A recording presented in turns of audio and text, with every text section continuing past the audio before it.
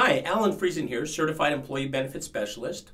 I was doing some research on the value, the return on investment that an employer would get through their benefit program. And the, the data on employee family assistance programs is pretty consistent in terms of the return on investment of those of those programs. And if you're not familiar with an employee family assistance program, basically what it does is expedites counseling services for somebody who's going through some challenges in their life. And we've all been there, have challenges in our life. So this is a, a quick, easy way to get the help you need so that you can move on.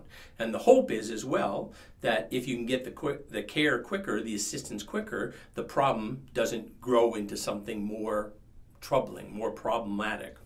So the the Shepell, who are one of the major EFAP providers, they just uh, released a report, and in their report, they're saying there's an eight dollar return for every one dollar invested in an employee family assistance plan.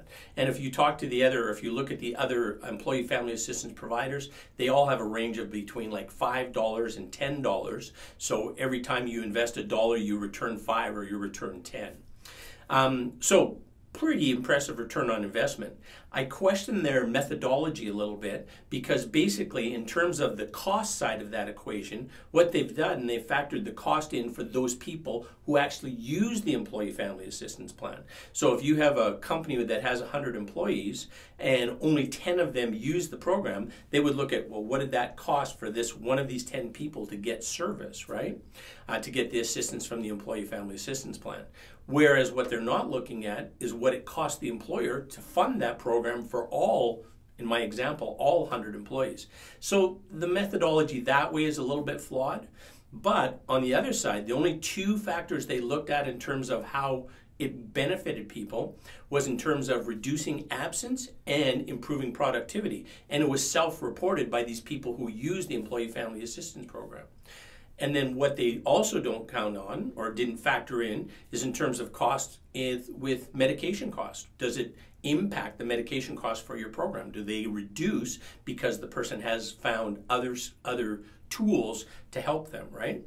Um, the other thing that it doesn't take into consideration is that it's not just the employee. So the employee needs the assistance, the employee gets the assistance. Well, that reflects on their home life as well, right?